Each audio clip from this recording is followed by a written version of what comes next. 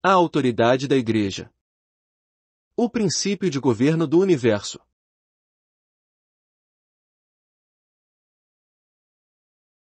Consideremos, agora, a questão da autoridade da Igreja. Antes de criar o universo, Deus estabeleceu um princípio para governá-lo, o princípio da autoridade. Ele próprio seria a mais alta autoridade, ao mesmo tempo, a fonte de toda autoridade. Abaixo dele estariam vários arcanjos, e abaixo desses, estariam muitos anjos. Na terra haveria outras criaturas viventes. Essa é a forma como Deus planejou governar o universo, e é assim que deve ser. Ele mantém todas as coisas pela palavra de seu poder as estrelas, a terra e todos os seres vivos. Ele estabeleceu leis para regular todo ser vivo e todo fenômeno natural. Portanto, a autoridade é de suprema importância no universo. Se qualquer coisa viva ou não vivente desobedece à sua lei, isso trará causa ao universo. A história da rebelião. A rebelião dos anjos no universo. Sabemos que o mundo anterior fracassou pela autoexaltação do arcanjo nomeado por Deus. A rebelião de Satanás foi contra a autoridade. Tu dizias no teu coração, eu subirei ao céu, acima das estrelas de Deus exaltarei o meu trono, e serei semelhante ao Altíssimo, Isaías 14, 13 a 14. Satanás desejou ser igual a Deus que ria exaltar-se para ser Deus, não se contentava em exercer domínio sobre todas as coisas abaixo de Deus. Ele se rebelou contra a autoridade de Deus, visando a usurpá-la por completo. Como resultado, aquela luminosa estrela da manhã se tornou Satanás, o anjo de luz se tornou o diabo. Tudo isso aconteceu antes da criação do homem. A rebelião do homem no mundo. Depois que criou o homem, Deus o pôs no jardim do Éden. Deus tem seu próprio arranjo para a ordem das coisas e suas próprias autoridades designadas para este presente mundo. Assim ele criou primeiro o macho e depois a fêmea. Ele fez o homem antes da mulher. O arranjo de Deus era que Eva deveria estar sujeita a Adão e que o homem deveria estar sujeito ao próprio Deus.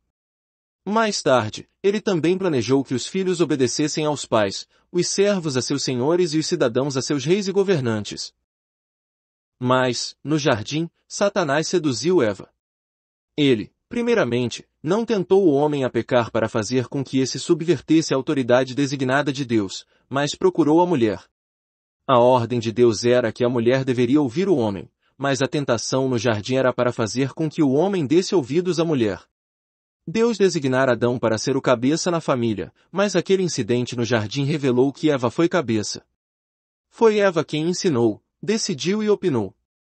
Durante aqueles dias, não havia ninguém na terra senão Adão e Eva.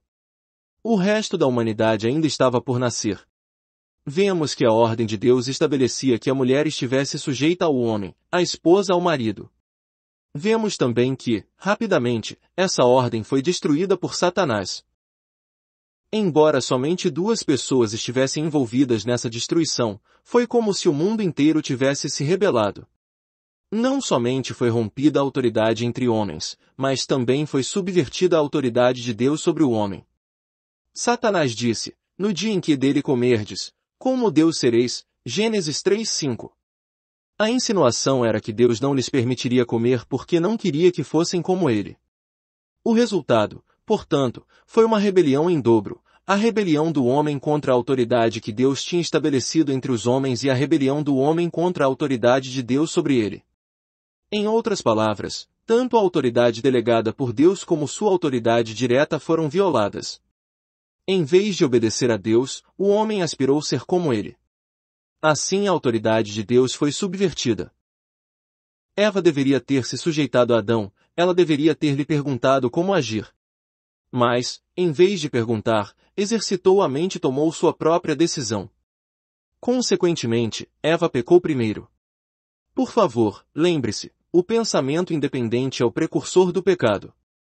O homem deve aprender a conhecer a mente de Deus e a buscar instrução da autoridade delegada por ele. Se o homem depender de seu próprio pensamento independente julgando que o fruto é bom, tem gosto bom e que, ao comê-lo, ganhará sabedoria, então, não só terá se rebelado contra Deus, como também terá se rebelado contra a autoridade estabelecida por Deus na terra. É por isso que o pecado no jardim do Éden foi uma dupla subversão, tanto do que era delegado como também da autoridade direta de Deus. A história do jardim do Éden é, na verdade, uma repetição daquilo que Satanás fizera anteriormente. Ele aspirara a ser igual a Deus, por isso tentou o homem para que se exaltasse a fim de ser como Deus. No primeiro paraíso, o brilhante querubim concebeu a ideia da rebelião, no segundo, no jardim de gozo significado de Éden, o homem se rebelou. Desde então, o homem tem seguido o caminho da rebelião. Por isso, Romanos 5 diz, por uma só ofensa, veio o juízo sobre todos os homens para condenação, pela desobediência de um só homem, muitos se tornaram pecadores. Versículos 18 a 19. Lembremos-nos de que, aos olhos de Deus, o que aconteceu no jardim do Éden não foi somente uma questão de ofensa, mas também de desobediência no jardim houve tanto rebelião como pecado. Pela rebelião de um homem, o pecado entrou no mundo. Daí em diante, a vida de rebelião tornou-se um princípio operante no homem. Depois do dilúvio, Deus ordenou que certos homens deveriam estar acima de seus semelhantes. Assim, a era de governo foi introduzida. De Adão até o dilúvio, havia apenas famílias, mas, após o dilúvio, o governo começou.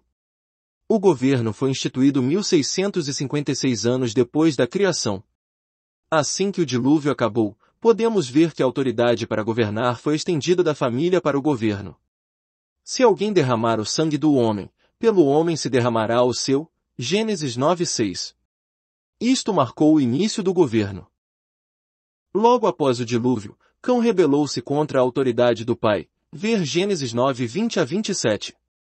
Depois disso, as nações que Deus estabelecera se reuniram para construir a Torre de Babel. Embora não houvesse rebelião entre si, contudo aquelas nações se uniram em rebelião contra Deus. No jardim do Éden a rebelião foi de uma pessoa ou uma família, mas, por ocasião da Torre de Babel, a rebelião foi das nações. As pessoas do mundo daquela época conspiraram para construir uma torre cujo topo alcançasse o céu. Elas desejavam se elevar ao ponto em que pudessem estar à altura de Deus. Em vez de usar as pedras que Deus criará, fizeram tijolos procurando imitar a obra de Deus elas aspiravam ser iguais a Deus. A rebelião dos israelitas. Como resultado, Deus escolheu Abraão, o qual não somente foi o pai da fé, mas também um homem que representa obediência. Deus escolheu durante aqueles dias de confusão geral e rebelião das nações. Deus esperava pelos que iriam permanecer na posição de obediência no meio da rebelião. Não somente Abraão, mas também sua esposa era obediente. Abraão e Sara ambos obedeciam a Deus, e Sara era obediente a Abraão. Sara aceitava a autoridade delegada por Deus a Abraão, como também a autoridade direta de Deus. Ambos eram obedientes a Deus e entre eles, isto é, entre marido e mulher, também havia obediência. Por manterem o princípio da autoridade divina na terra, o povo de Deus deveria proceder deles.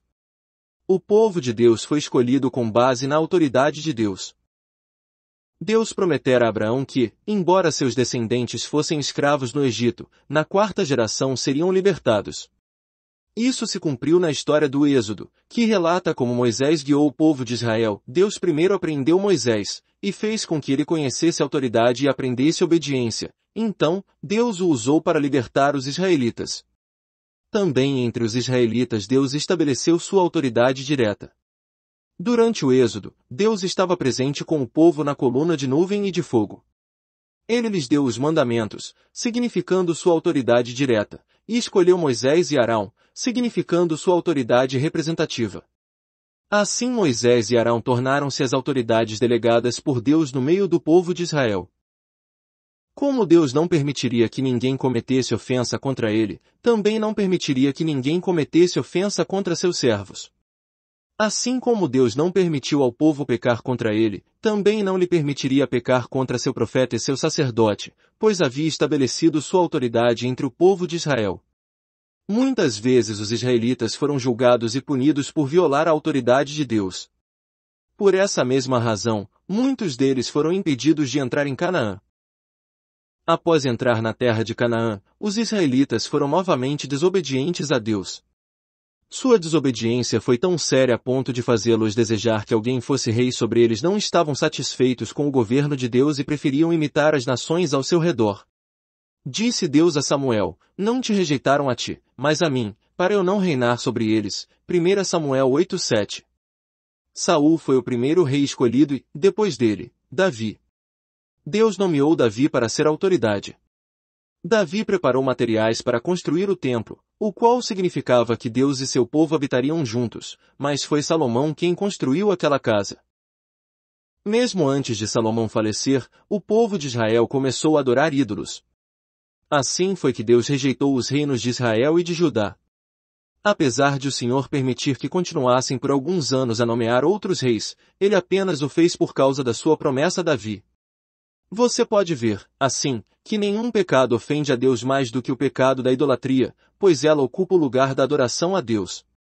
Depois que a idolatria entrou, a história subsequente de Israel foi marcada pela rebelião. O princípio de obediência. Somente após o nascimento do Senhor Jesus é que Deus obteve seu escolhido. O próprio Senhor nos falou, o filho nada pode fazer de si mesmo, senão somente aquilo que vir fazer o pai, porque tudo que este fizer, o filho também semelhantemente o faz, nada faço por mim mesmo, mas falo como o pai me ensinou, porque não procuro a minha própria vontade, e, sim, a daquele que me enviou. João 5,19, 8,28, 5,30. Aqui encontramos um homem que se entregou a Deus, permanecendo plenamente sob sua autoridade. O Senhor Jesus era o próprio Deus, e apesar disso, não julgou como usurpação o ser igual a Deus, antes se submeteu inteiramente à autoridade divina. Depois que ele morreu na cruz, Deus o ressuscitou dentre os mortos e o exaltou grandemente. Ele foi feito Senhor e Cristo, e Deus lhe deu o nome que está acima de todo nome, para que ao nome de Jesus se dobre todo o joelho, nos céus, na terra e debaixo da terra, e toda língua confesse que Jesus Cristo é Senhor, para a glória de Deus Pai. Filipenses 2, 5 a 11. Após a ascensão do Senhor, sua igreja foi formada. Ele não a estabeleceu como uma organização ou instituição segundo a expectativa do homem. Esse Senhor, que ressuscitou dos mortos, foi assunto aos céus, deve ser o cabeça da igreja, e toda a igreja deve ser seu corpo.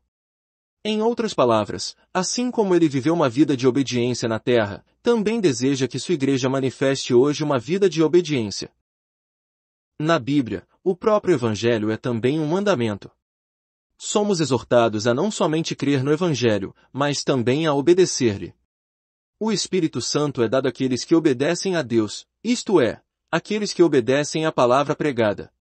Lembre-se, a própria aceitação do Senhor Jesus está relacionada com obediência. É um mandamento de Deus que os homens em todo lugar creiam. Crer, portanto, é obedecer. Desde o começo, aqueles que estão na igreja devem aprender como obedecer ao Senhor, como obedecer à autoridade de Deus. Durante os vários séculos da história do homem, o mundo tem sido rebelde. Um princípio básico do mundo é a subversão da autoridade de Deus, quer direta quer delegada. Quando porém a igreja, o corpo de Cristo, foi estabelecida na terra, seu princípio básico foi o de obediência. Aquilo que Deus planejou originalmente para o mundo, agora é requerido de modo estrito da igreja. Hoje Deus exige com seriedade que, na igreja, as mulheres sejam submissas aos homens. Quão difícil isso é para o mundo! Pergunte a qualquer mulher no mundo se ela aceita ser submissa ao homem. A resposta será não e, além disso, ela não possui a menor inclinação nesse sentido. Mas Deus pede que, na igreja, a mulher se sujeite ao homem, e a esposa ao marido. Em Efésios e Colossenses, epístolas profundamente espirituais, o Senhor incumbe as esposas a serem submissas ao marido, os filhos a obedecerem aos pais e aos servos a serem obedientes a seus senhores. Essas não são palavras para o mundo, mas sim para a igreja. Ambas as epístolas figuram entre as mais importantes. Elas nos mostram como éramos anteriormente, filhos da desobediência, porque nosso princípio de vida não era diferente do das outras pessoas do mundo, o princípio da desobediência. Mas agora, Deus nos deu um mandamento, as esposas devem ser submissas ao marido, os filhos devem obedecer aos pais, os servos devem ser obedientes aos seus senhores. Isso é bastante diferente do modo como o mundo age. Assim vemos que o princípio básico da igreja é obediência. Em Romanos, encontramos palavras muito claras, todo homem esteja sujeito às autoridades superiores, porque não há autoridade que não proceda de Deus, e as autoridades que existem foram por ele instituídas, 13 1. Toda autoridade é instituída por Deus, portanto, devemos nos sujeitar às autoridades e governantes.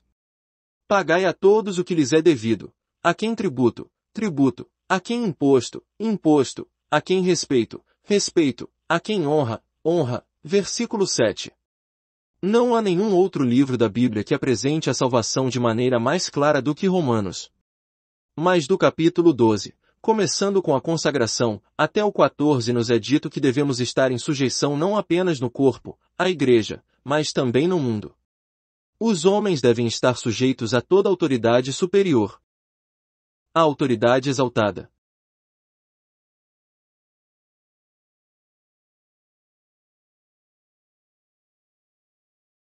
A igreja é um corpo com a característica especial de que seus membros, enquanto vivem neste mundo, devem fazê-lo em obediência. Adotamos obediência como princípio de nossa vida diária. A igreja hoje deve ocupar uma posição na qual poderá declarar que, aquilo que Deus não obteve na época de Adão, atualmente tem alcançado por meio dela. Aquilo que Deus não obteve por meio da nação de Israel, ele hoje conseguiu por meio da igreja. O que o mundo homens de toda tribo, língua, povo, raça e nação não tem, a igreja possui. Em outras palavras, nessa imensa terra há pelo menos um grupo de pessoas que preserva a autoridade de Deus. Embora as pessoas deste grande e vasto mundo sejam rebeldes, a igreja é o único corpo que é obediente à autoridade. Ela deve ser capaz de erguer a cabeça e dizer, Senhor, aquilo que não obtiveste de Satanás e de seus seguidores rebeldes, agora obtiveste na igreja. Assim, diante dos principados e potestades nos lugares celestiais, a autoridade de Deus é agora manifestada por meio da Igreja. Ela hoje não está na terra apenas para pregar o Evangelho e se edificar, mas também para manifestar a autoridade de Deus. Em todos os demais lugares, essa autoridade é rejeitada, mas na Igreja ela é exaltada. As pessoas do mundo não buscam a vontade de Deus, mas a Igreja está aqui buscando sua vontade. Melhor dizendo, a igreja é um corpo obediente. Se não é salvo, e portanto não pertence à igreja, você é excluído. Do contrário, uma vez que passou a pertencer à igreja, você deve guardar, diante de Deus, este princípio básico de permitir que sua autoridade seja manifesta por meio da igreja. A vontade divina pode não ser acolhida em todos os lugares no mundo, mas deve prevalecer na igreja, e você e eu devemos preservá-la. Por essa razão, Todos os irmãos e irmãs na igreja devem aprender a ser obedientes. Por favor, tenha em mente que nenhum pecado é mais sério que o da desobediência, pois ele contradiz a própria razão da existência da igreja. O que importava ao Senhor Jesus na terra não era o quão bem vivia, mas se ele era obediente. Na realidade, se o filho tivesse feito qualquer coisa de iniciativa própria, certamente seria bom, mas ele insistiu que não podia fazer nada de si mesmo, pois não veio fazer sua própria vontade, mas sim a do Pai que o enviará. Lembre-se, há uma autoridade no universo que deve ser preservada, e o Senhor a preservou. Que a igreja faça o mesmo hoje. Aquilo que Deus anteriormente não conseguiu obter nas diferentes dispensações e em nenhum outro lugar, ele obterá na igreja. Da obediência. Na igreja não falamos apenas do bem e do mal, do certo ou do errado, mas muito mais de obediência. Precisamos ver que não há hoje testemunho mais importante do que o testemunho da obediência. Pelo fato de o universo inteiro ter caído em rebelião, Deus não encontra um lugar sequer onde sua autoridade seja aceita, exceto na igreja. Por essa razão, os filhos de Deus devem aprender, na igreja, a obedecer. Obediência é a vida da igreja, é sua própria natureza, consequentemente seu princípio básico. Ela existe com o propósito de preservar a obediência. Ela é exatamente o oposto da condição das nações ao redor. Enquanto as nações da terra juntas tomam conselho contra Deus e seu ungido, dizendo, rompamos os seus laços e sacudamos de nós as suas algemas, Salmos 2:3, enquanto lutam para se livrar da lei do Filho de Deus, a igreja declara com regozijo, muito alegremente coloco-me debaixo de teus laços e tuas algemas a fim de aprender obediência. Essa é a igreja. Ela não se tornou somente um corpo que obedece à autoridade direta de Deus, mas também um organismo para testemunhar a obediência. Ela preserva, na terra, a autoridade direta, bem como a autoridade indireta, delegada por Deus. A autoridade da igreja. Na Bíblia encontramos muitas passagens sobre obediência, mas aqui estaremos considerando esse assunto em quatro aspectos. A lei do corpo.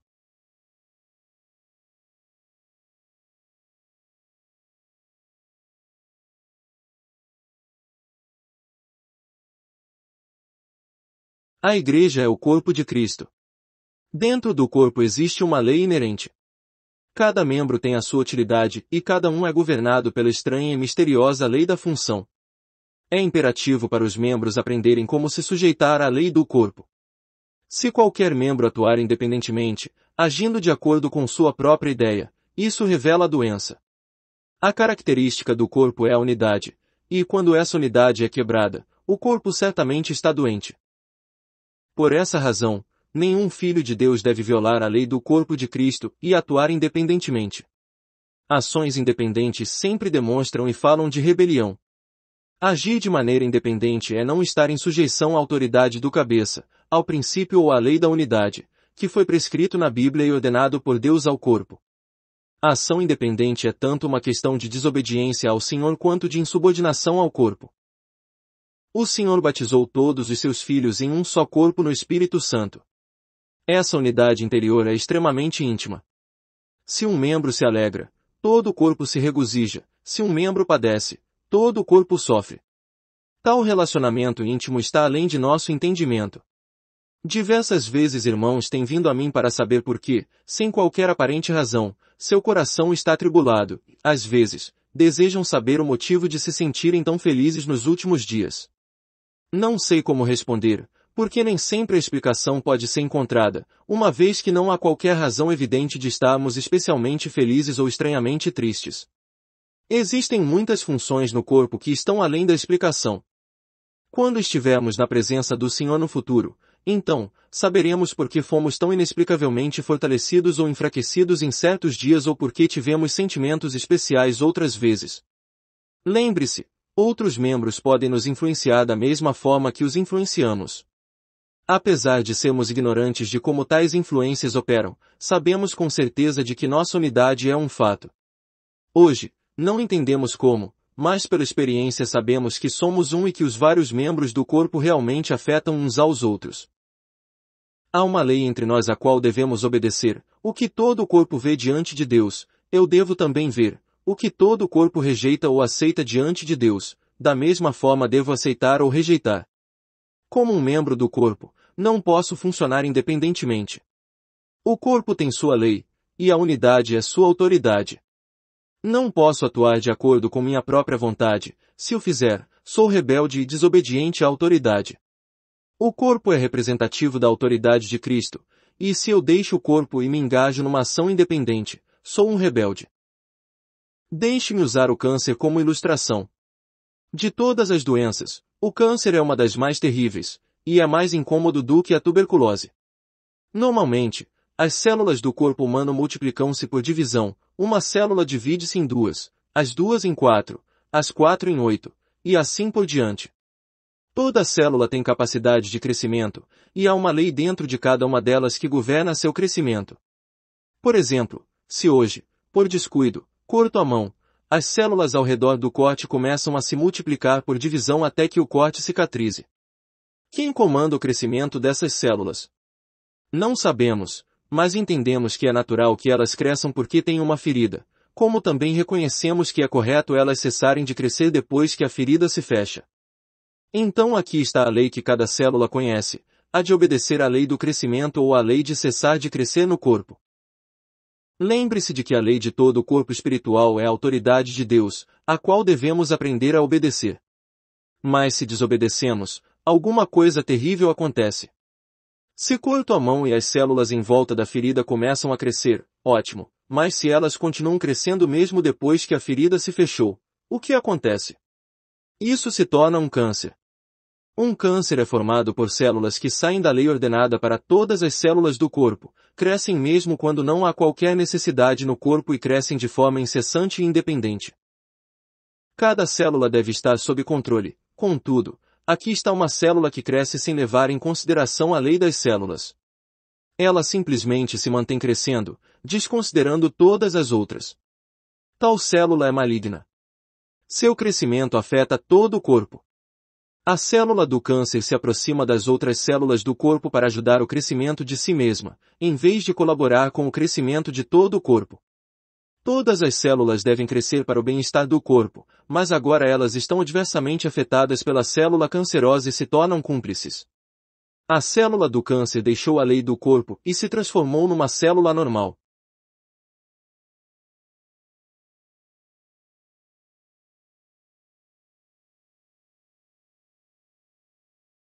Por isso, se uma pessoa é desobediente à autoridade e à lei do corpo e age de acordo com suas próprias ideias, em vez de agir de acordo com o princípio da unidade, ela se torna um câncer. Quem quer que entre em contato com ela será usado para desenvolvê-la e não ao corpo. Ela absorverá tudo ao seu redor para expandir-se em vez de proporcionar crescimento ao corpo.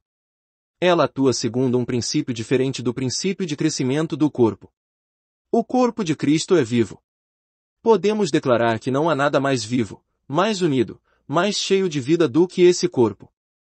Se antes de termos crido no Senhor estávamos acostumados a agir independentemente, agora precisamos reconhecer que nos tornamos uma célula no corpo, um membro do corpo, e devemos ser controlados pela lei do corpo.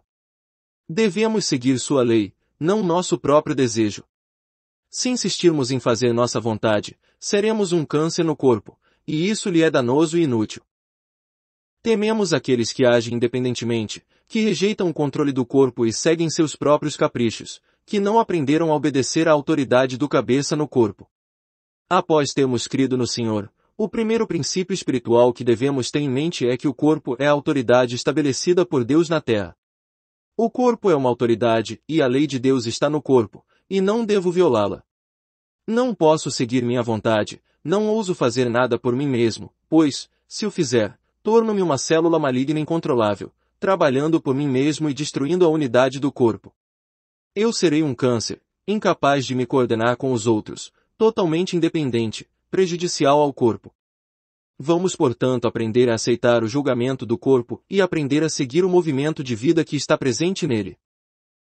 Quanto mais se caminha diante do Senhor, tanto mais se enxerga que a unidade do corpo é uma verdade extremamente séria e que, portanto, não pode ser corrompida.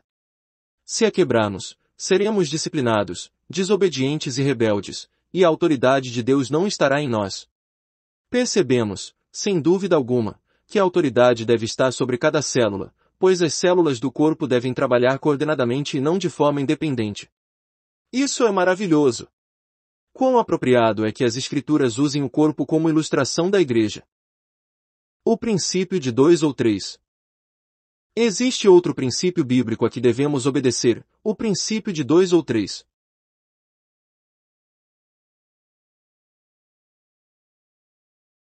Se teu irmão pecar contra ti, vai arguí-lo entre ti e ele só. Se ele te ouvir, ganhaste a teu irmão. Se, porém, não te ouvir, toma ainda contigo uma ou duas pessoas, para que, pelo depoimento de duas ou três testemunhas, toda palavra se estabeleça. E, se ele não os atender, dize-o à igreja, e se recusar ouvir também a igreja, considera-o como gentil e publicano. Em verdade vos digo que tudo o que ligardes na terra terá sido ligado no céu, e tudo o que desligares na terra terá sido desligado no céu. Em verdade também vos digo que, se dois dentre vós, sobre a terra, concordarem a respeito de qualquer coisa que porventura pedirem, ser-lhes-á concedida por meu Pai que está nos céus. Porque onde estiverem dois ou três reunidos em meu nome, ali estou no meio deles. Mateus 18, 15 a 20 o Senhor Jesus nos diz que, se dois ou três estiverem reunidos em seu nome, ou diante do seu nome, como num acorde, tão harmoniosamente quanto a música, ele está no meio deles, e qualquer coisa que pedirem ser-lhes a concedida. Esta, realmente, é uma grande promessa dada a nós pelo Senhor. Se dois ou três concordarem perfeitamente, sem duvidar, o Senhor promete responder-lhes a oração. O Senhor também me diz o que devo fazer quando peco contra um irmão e ele vem me mostrar como agir errado, embora eu ainda pense que estou certo. O Senhor me diz que devo ouvir a meu irmão, se sou uma pessoa que tenho aprendido diante de Deus a receber, então imediatamente vou reconhecer meu pecado quando o irmão vier me falar. Por quê? Porque isto também é um princípio do corpo, uma pessoa pode representar o corpo. A despeito de quão certo me sinta, se sou uma pessoa humilde e mansa diante de Deus, reconhecerei que meu irmão tem mais experiência e é mais instruído e profundo diante do Senhor. Ele vê minha falta e agora vem me corrigir. Deixe-me dizer que uma pessoa pode ser autoridade, você não precisa esperar por mais pessoas. Quem estiver próximo a você pode ser essa autoridade e pode representar toda a igreja. Eu deveria reconhecer que errei, pois a pessoa que estava próxima a mim quando fiz aquilo deixou isso claro. Não quero dizer que tem de haver evidência antes de você reconhecer, mas que precisa ser sensível diante de Deus. Sendo assim, Muitas vezes será desnecessário ser repreendido por duas ou três pessoas ou por toda a igreja. Na esfera da realidade espiritual, devemos ser capazes de ver e tocar a questão quando somos alertados por alguém. Aquela pessoa já é o corpo, pois ela o representa. Algumas vezes, há necessidade de duas ou três testemunhas. Se um irmão vem me ajudar e, ainda assim, não consigo ver meu pecado, ele retornará com mais um ou dois irmãos. Esses devem ser conhecidos pelo amor sincero ao Senhor e devem ser pessoas de estatura espiritual e maturidade no serviço de Deus. Esses dois ou três procurarão me fazer compreender que, segundo o entendimento deles, estou errado. Nessa hora devo lembrar o que o Senhor falou, porque onde estiverem dois ou três reunidos em meu nome, ali estou no meio deles. Mateus 18, 20. Se esses dois ou três concordam com o assunto, suas orações serão ouvidas pelo Senhor. Se o Senhor os ouve, será que posso rejeitar o lidar deles comigo? Se o Senhor aceita o julgamento deles, quem sou para rejeitá-lo? Se o Senhor concorda que aquilo que eles fazem como um acordo está correto, como posso dizer que não está?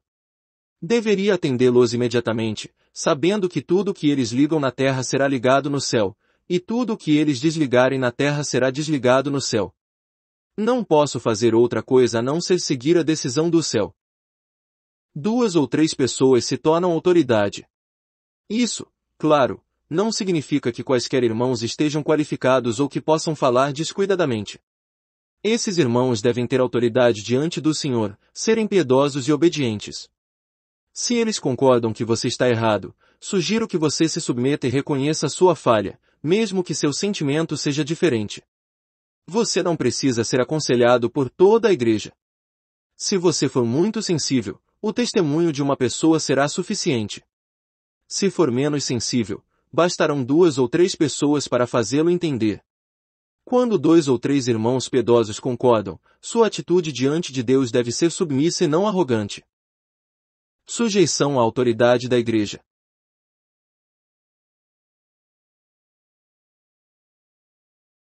Mateus 18 nos mostra, ainda, que se dois ou três irmãos falharem em convencê-lo, o assunto deve ser levado à igreja. Toda igreja, então, deverá considerar a questão diante de Deus. Se a decisão ainda for contra você, o que tem a dizer? Será que você diria, apesar de o corpo julgar que eu esteja errado, o cabeça reconhece que estou certo, mesmo que meus pais me abandonem, o Senhor não me deixa. Mesmo que os irmãos me rejeitem, o Senhor me recebe. Tomarei, portanto, a cruz. Não, Tal atitude mostraria que você está fora da igreja. Como pode considerar-se perseguido e maltratado, pensando estar sofrendo na mão de seus irmãos? Meu conselho é que se humilhe e diga, o que a igreja disser está correto e não pode haver nenhum outro julgamento. Se todos os irmãos e irmãs dizem que estou errado, então estou, a despeito de meus próprios sentimentos. Precisamos aprender a estar em sujeição à autoridade da igreja. Existe a autoridade de Deus na igreja. Não seja tão duro a ponto de recusar a decisão dos irmãos. Uma pessoa orgulhosa não tem lugar na igreja, pois não conhece nada sobre obediência ou igreja. Que aprendamos a ser mansos, humildes e submissos. A igreja possui autoridade diante de Deus. O que ela rejeita é o que Deus rejeita. Cada filho de Deus precisa aprender a obediência na igreja. Podem ser uma, duas ou três pessoas, ou algumas vezes até mesmo toda a assembleia local, mas cada uma delas representa a igreja. Devemos aprender a ser mansos e gentis diante de Deus, e não duros e arrogantes. Os filhos de Deus defendem o princípio da obediência. Autoridade representativa na igreja.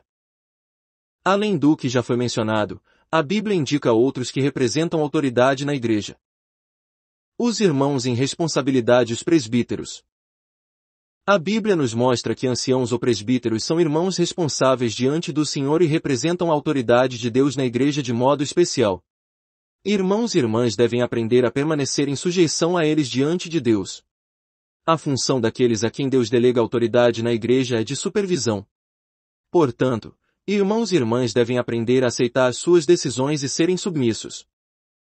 Os filhos de Deus devem sempre procurar ordens para seguir e oportunidades para obedecer, não devem procurar apenas tarefas frequentemente percebo que há muitos jovens que não têm sido úteis.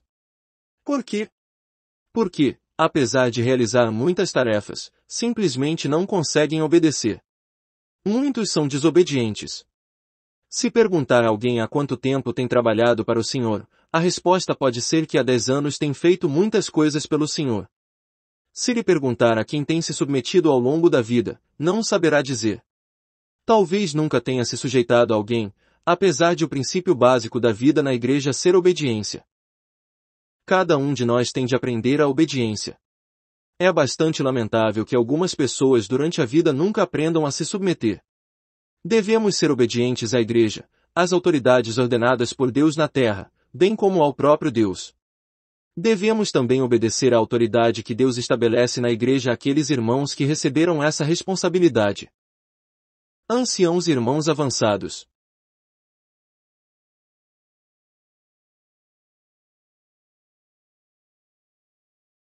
E agora, irmãos, eu vos peço o seguinte, sabeis que a casa de Estéfanas é as primícias da Caia, e que se consagraram ao serviço dos santos que também vos sujeiteis a esses tais, como também a todo aquele que é cooperador e obreiro. 1 Coríntios 16, 15 a 16.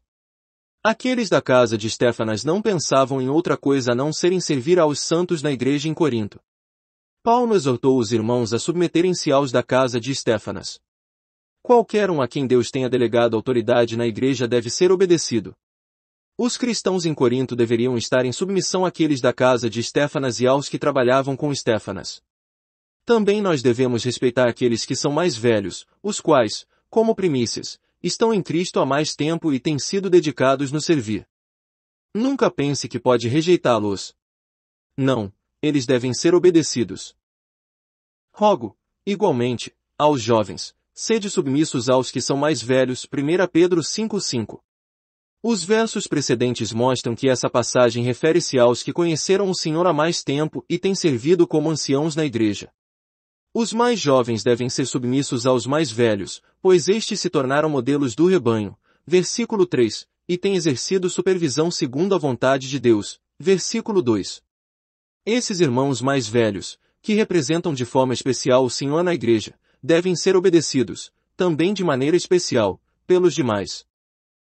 Devem ser considerados merecedores de dobrados honorários os presbíteros, anciãos, gr, que presidem bem, com especialidade os que se afadigam na palavra e no ensino 1 Timóteo 5,17. Honras dobradas devem ser dadas aos anciãos que presidem bem na igreja, e ninguém deve falar negligentemente a seu respeito. Devemos honrar os anciãos, particularmente aqueles que também se afadigam em ensinar. Alguns anciãos têm o ministério da palavra, outros não, mas todos devem ser igualmente honrados. Desejo acrescentar uma palavra de advertência. Muitos irmãos e irmãs têm a seguinte dificuldade básica com respeito à obediência. Eles pensam que podem escolher a quem devem obedecer, que somente aqueles a quem consideram perfeitos devem ser obedecidos. Mas, lembrem, o Senhor nunca estabeleceu essa lei. Obediência não é devida ao que é perfeito, mas somente à autoridade do Senhor delegada a uma pessoa. Você sempre encontrará falhas na pessoa a quem decidir obedecer. Francamente, ainda que fossem Paulo ou Pedro, você não teria dificuldade em encontrar falhas neles. Caso deseje encontrar desculpas, você não terá dificuldades. Suponha que haja um ancião que saiba somente como governar, mas não tem o ministério da palavra. Você pode concluir que ele não merece seu respeito porque você prega melhor do que ele. No entanto, a palavra de Deus diz claramente, devem ser considerados merecedores de dobrados honorários os presbíteros que presidem bem, com especialidade os que se afadigam na palavra e no ensino. Não é uma questão de escolha. Muitos fazem suas escolhas a fim de encobrir sua indisciplina e rebelião. Isso é tolice. Você deve submeter-se àqueles que são anciãos e mais avançados, e não criticá-los. Líderes. Obedecei aos vossos guias, e sede submissos para com eles, pois velam por vossas almas, como quem deve prestar contas. Hebreus 13, 17. A palavra de Deus é muito clara quanto ao fato de que devemos obedecer àqueles que velam por nossa alma. Não existe a possibilidade de escolhermos a quem obedecer. Criaríamos grandes dificuldades se ouvíssemos a um irmão e não a outro. Lembre-se de que não há nada de especial em darmos ouvidos ao que um irmão diz. Todos devemos aprender a obedecer aos que são mais avançados, bem como aos que estão acima de nós. Devemos aprender a obedecer aos que nos guiam, assim como aos que, em especial, são espiritualmente mais avançados e grandemente usados pelo Senhor. Devemos sempre procurar descobrir quem são esses. Suponha que você vá a um lugar onde três ou quatro irmãos estão reunidos. Sua primeira pergunta deveria ser: a quem devo obedecer? Você deve se submeter àqueles que são mais avançados. Dentro de apenas duas ou três horas, você naturalmente descobrirá quem são aqueles que Deus está usando para guiá-lo. A esses você deve obedecer. A característica de um cristão é obediência, não trabalho. A marca de um cristão é sua habilidade em reconhecer aqueles que o guiam. Creio que é espiritualmente maravilhoso quando, em uma localidade, ainda que ali se reúnam apenas cinco irmãos, cada um assume sua posição. Por que devemos obedecer aos que nos lideram? Pois velam por vossas almas, como quem deve prestar contas, para que façam isto com alegria e não gemendo, porque isto não aproveita a vós outros. Hebreus 13, 17b. Quem estiver à sua frente velar por sua alma de modo a prestar contas dela a Deus, essa é a pessoa a quem você deve se submeter. Obreiros entre nós. Agora vos rogamos, irmãos, que acateis com apreço os que trabalham entre vós, e os que vos presidem no Senhor e vos admoestam, e que os tenhais com amor em máxima consideração, por causa do trabalho que realizam 1 Tessalonicenses 5, 12 a 13. Alguns são usados pelo Senhor para liderar, admoestar e governar. A eles você deve respeito, honra e, obviamente, obediência.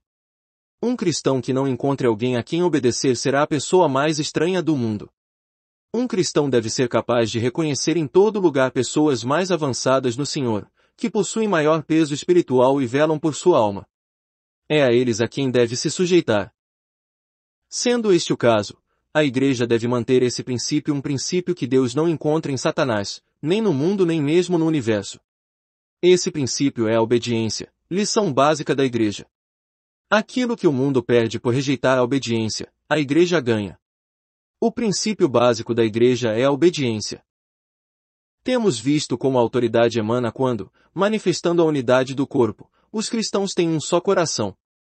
Também vimos como uma, duas ou três pessoas, ou a assembleia local pode representar o corpo de Cristo.